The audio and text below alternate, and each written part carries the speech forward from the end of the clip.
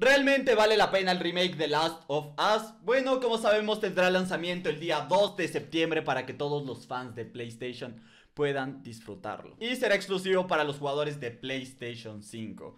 Bueno, y muy pronto será para los jugadores de PC. Esta es la versión definitiva que Naughty Dog quiso mostrarle al público. Va a ser una experiencia con una inteligencia artificial, audio, resolución brutal.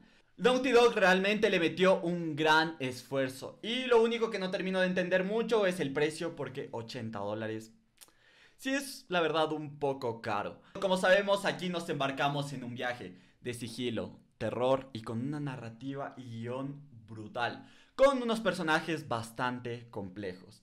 Y tampoco en este juego no dañan el impecable desarrollo de los anteriores juegos. Y pocos títulos van a encontrar en el mercado con tanta calidad y es un remake extremadamente fiel. Y para los usuarios que no pudieron disfrutar su primera versión, sin duda les va a encantar.